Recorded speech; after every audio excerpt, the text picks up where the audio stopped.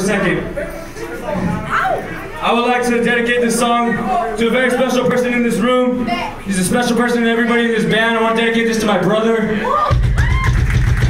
wrote, I wrote this song on a day where I lost my job. I was going through a bunch of shit. And my brother, something as simple as taking me out to play a game of soccer.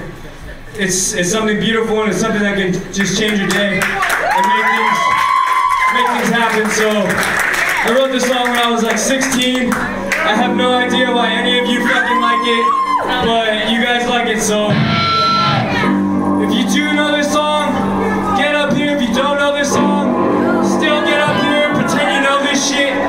You know, everybody over there, get your money's worth. Stop looking at me like I'm fucking dumb. You know, you guys can start this fucking song on the stage. I don't really give a fuck. Get up here. Let's do this shit. Do it!